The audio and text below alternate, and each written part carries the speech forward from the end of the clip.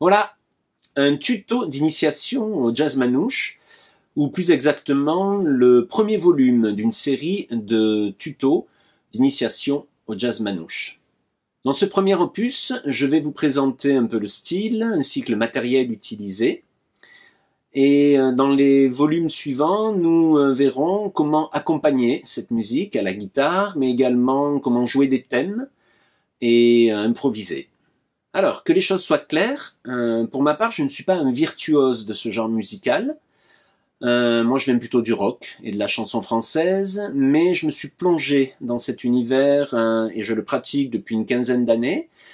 Je pense pouvoir donc vous donner un certain nombre de bons conseils pour bien démarrer, mais aussi, et de par mon parcours justement, vous aider à trouver votre place dans cet univers musical même si vous n'êtes pas le dernier vainqueur des 24 heures du manche. C'est une musique conviviale, acoustique, donc euh, facile à partager de façon spontanée avec d'autres musiciens et pourquoi pas devant un public, euh, fut-il composé de proches euh, à la fin d'un repas. Par ailleurs, l'étude du jazz manouche, outre le fait et le plaisir de jouer la musique de Django Reinhardt, vous donnera des bases qui vous aideront à vous pencher sur le jazz en général, l'improvisation mais également euh, vous permettra euh, d'aborder plus facilement les répertoires euh, de Brassens, Trenet, Aznavour, plus près de nous San Severino ou Thomas Dutronc, ainsi que certaines musiques italiennes et sud-américaines. En route donc, mais avant nous allons planter le décor.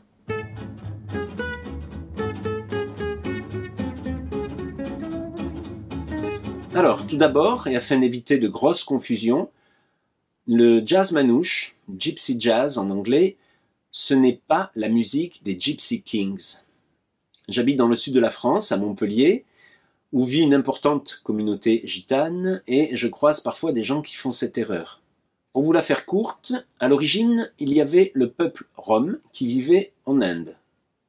Il y a eu une diaspora, un exode, ceux qui sont passés par le sud, qui ont longé la Méditerranée, euh, puis se sont installés en Espagne ou dans le sud de la France, ce sont les gitans.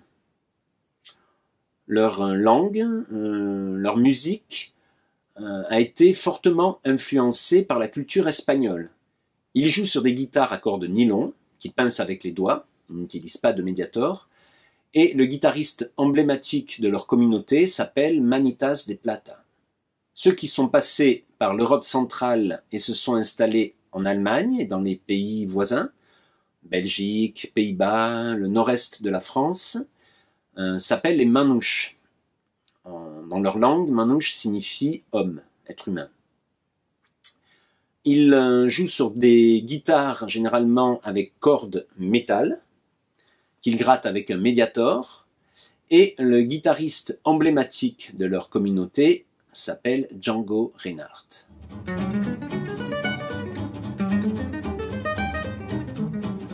Jean Reinhardt, Django de son surnom, qui signifie je réveille en manouche, est né en 1910 à Liberchies en Belgique et il est mort en 1953 à Samois-sur-Seine en région parisienne. Sa famille était nomade, son père était musicien et enfin, Django a appris euh, le violon tout d'abord, puis le banjo-guitare. Après avoir beaucoup voyagé en roulotte, la famille s'installe porte de Choisy à Paris, dans un lieu qu'on appelait la zone, une sorte de no man's land où vivaient des pauvres gens, euh, et dont Brassens parle dans sa chanson La princesse et le croque-note. À cette époque, Django était déjà un musicien extrêmement doué. Et pour aider financièrement sa famille, il va commencer à accompagner au banjo des accordéonistes dans les balles musettes qui fleurissaient à l'époque. Et puis à 18 ans, il est grièvement blessé dans l'incendie de sa roulotte. Il va devoir euh, réapprendre à jouer de la guitare en n'utilisant que le pouce, l'index et le majeur de la main qu'il posait sur le manche, hein, sa main gauche, l'annulaire et le petit doigt étant restés atrophiés euh, suite à son accident. Il va développer une technique personnelle qui est encore utilisée par les, les du genre et donné naissance au jazz manouche en mélangeant ses influences, à savoir la musique manouche, mais également les vieilles chansons françaises qu'il jouait dans les balles musettes, et le jazz américain, le swing, euh, qui commençait à devenir populaire dans la France de l'entre-deux-guerres.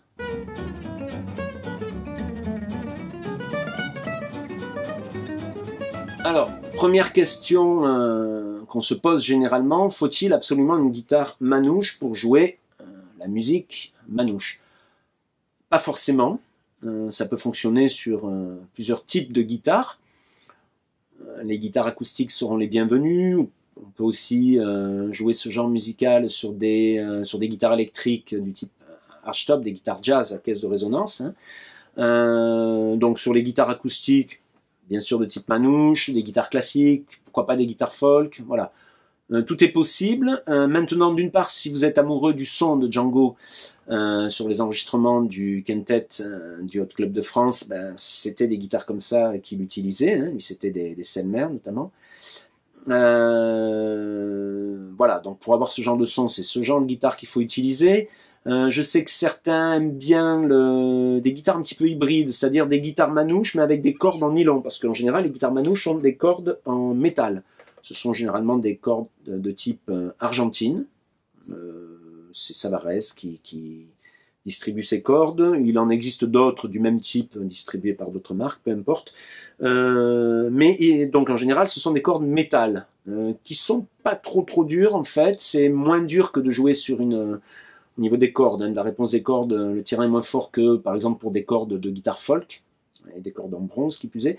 Mais euh, certains guitaristes affectionnent des guitares manouches, donc avec quand même un barrage de type manouche. Le barrage, c'est les petits morceaux de bois qui sont sous la table d'harmonie et qui donnent ce son si particulier, euh, mais avec des cordes de nylon. je sais que Sébastien Gignot, Rocky Gressé, à une période Thomas Dutronc également, utilise ce genre de guitare. Paraît-il que Django a utilisé ce genre de guitare aussi à une, période. Raphaël Feiss aussi, j'ai vu un enregistrement où il jouait merveilleusement sur ce type de guitare, donc ça marche. Alors après, euh, bon, des guitares manouches avec cordes c'est encore un peu différent. Euh, mais une guitare vraiment uniquement, euh, enfin une guitare un mais une guitare de type classique, ça peut fonctionner. Ce qu'il y a, c'est que ça projettera moins et la guitare donc sera, vous arriverez moins à vous faire entendre, et puis la guitare sera moins chantante euh, si vous prenez donc des thèmes ou des, ou des solos avec ce type de guitare.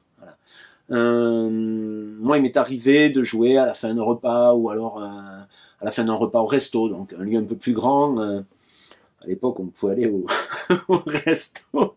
Bon, finalement, maintenant, non, prenez un ukulélé. Je plaisante. Il y aura des jours meilleurs. Euh, bref, et euh, c'est pas évident euh, quand on a autre chose qu'une guitare, euh, qu'une guitare manouche, c'est-à-dire que pour se faire entendre, il faut vraiment, notamment encore quand on fait de l'accompagnement, mais au moment où on prend un thème ou un solo, il faut vraiment attaquer fort. La réponse est pas aussi euh, aussi marquée et c'est un peu comme disait ma grand-mère, what the fuck, c'est pas, pas de la rigolade. Euh, pourquoi? Parce qu'en fait, une guitare manouche, si vous jouez en fait dessus avec les doigts euh, gentiment, vous aurez même plutôt moins de son, moins de projection qu'une guitare, même qu'une guitare folk ou une guitare classique. Pourquoi? Parce qu'en fait, le, barrage, donc les, petits morceaux de bois qui sont sous la table d'harmonie, sont placés de telle façon euh, qu'il faut dépasser un certain seuil euh, pour mettre vraiment en vibration cette table. Donc si vous êtes en dessous de ce seuil, vous aurez même plutôt moins de son et moins de résonance qu'avec une guitare folk ou une guitare classique. Si par contre vous prenez un médiator un peu épais et que vous attaquez un peu plus, là, vous passez au-dessus du seuil, la table se met en, résonance et votre guitare va projeter. Hein, et on vous entendra. Euh, mieux euh, qu'avec une guitare classique et une guitare euh, une guitare folk. Dans les aigus également, il y aura un côté euh, un petit peu plus chantant et toujours avec cette projection. Alors il y a deux types de guitares manouches, hein, avec des une comme celle-ci avec des un premier type comme celle-ci avec une petite bouche et puis il en existe avec une grande bouche en D qui enfin on dit qu'elles sont plus utilisées pour l'accompagnement Celles-ci vont projeter un peu plus et pour l'accompagnement, notamment celui qui est en train de jouer s'entendra un petit peu plus parce que la bouche est plus large. Bon, en réalité, tout peut être utilisé pour tout, mais voilà les, deux grandes familles que, vous pourrez trouver. Euh, vous n'êtes bien sûr pas obligé euh, de commencer par acheter une, guitare manouche de luthier qui coûte cher. Hein. Euh, moi, j'ai démarré en achetant un petit modèle d'usine. Hein. C'était une Aria et Agitane qui fait des, modèles comme ça qui sont déjà mieux, sans que ce soit trop cher. Après, j'étais passé une guitare de, luthier, c'était une Dupont, euh, mais un entrée de gamme, voilà. Euh, au fur et à mesure, voilà, qu'on avance dans la connaissance de cette musique, euh, bah, petit à petit, on, améliore son instrument, on essaie. Hein. Et puis, j'ai fini par acheter cette guitare, qui est une MD50 Dupont. Bon, il existe des tas de, marques, des tas de luthiers qui font des, super guitares. Celle-ci s'est bonifiée avec le temps, elle a pris un peu plus de, basse. Euh, voilà. Après, tout est possible. Euh, à vous un petit peu de d'essayer ça, mais encore une fois, si, euh, si, si, vous aimez ce son de Django avec sur les enregistrements de, l'avant-guerre, c'est ce type de guitare. Ensuite, bon, ben, au niveau des médiators, il faut des médiators, il vaut mieux des médiators assez épais pour avoir une réponse justement suffisante. Euh, si vous prenez un médiator très fin, euh, pour les rythmiques, euh, encore ça peut passer, bien que vous risquez de manquer de son, mais dès que vous allez vouloir jouer un thème ou, prendre un solo, vous n'arriverez pas à, à, sortir suffisamment de son, avoir suffisamment de réponses. Alors pendant longtemps, c'était des médiators vraiment très épais. Hein. C'était plus des médiators en, en écaille de tortue, heureusement pour elle. Euh, c'était donc un petit peu des copies de ça, des euh, médiators. Il y avait les Duguin en acétate, comme ça. Il y a même l'empreinte, le médiator est, assez épais, et il y a l'empreinte du pouce et de l'index. Alors pour moi qui était, qui suis gaucher, il me fallait acheter euh, des médiators latéralisés, donc médiator pour gaucher. Hein, Moi j'aime bien ceux-là, pareil, c'est un peu, vraiment assez épais. c'est des Wagon.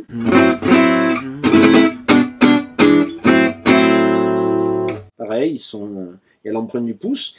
Euh, moi, j'utilise ceci, c'est des Dunlop 208, je crois, assez épais, assez, assez, assez gros. Alors, le problème de ces médiators, c'est celui-ci un peu plus fin, mais avec les autres, on a un peu l'impression, le son est mieux, mais on a l'impression un peu de jouer avec une, armoire normande euh, entre les doigts, ce qui n'est pas toujours très pratique.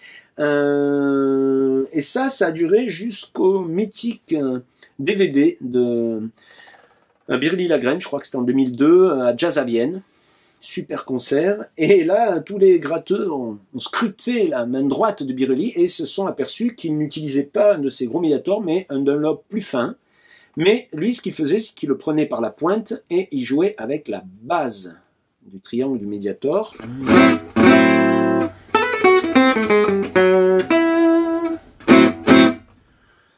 L'avantage, c'est que comme le médiator est plus fin, c'est quand même euh, plus simple pour, euh, pour jouer vite.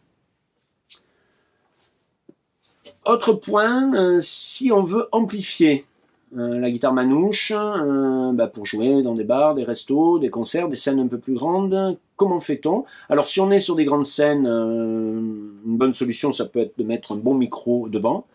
Moi j'utilise un KM 184 Neumann. C'est bien d'avoir un statique mais qui, qui reprenne pas trop large en fait quoi. pour pas passe aussi plein pot dans le micro euh, les autres musiciens euh, et que euh, l'ingé son puisse vraiment gérer le son de chaque musicien par le biais du micro de chacun. C'est pas mal de pouvoir renforcer ce genre de prise de son pour sécuriser un peu l'affaire par une repique en ligne. Alors ça peut être soit par le biais d'un piezo. Moi, ma guitare est, équipée d'un piezo Bigton, euh, ça fonctionne bien, on a du son qui est pas mal. Si on utilise ça et juste ça, c'est un petit peu cash quand même. La ligne est un peu agressive. Euh, c'est pas mal de mélanger cette repique avec un micro. Donc ça peut être un micro devant. Ça peut être un, euh, un micro statique mais fixé sur la guitare. DPA fait ça. Là on suspend le micro, un petit micro au-dessus des cordes. Hein.